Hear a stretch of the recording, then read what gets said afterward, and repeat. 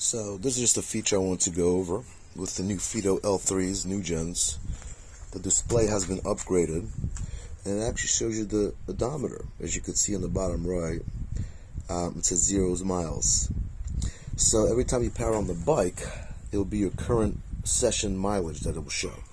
If you want to see the, your historical uh, mileage, just double click on the power button.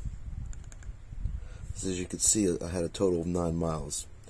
Um, but every time that you start the bike up, it will default to the to your current state. So your current session, how long you're riding, um, not your historical. So if you want to change that, again, double click the power button.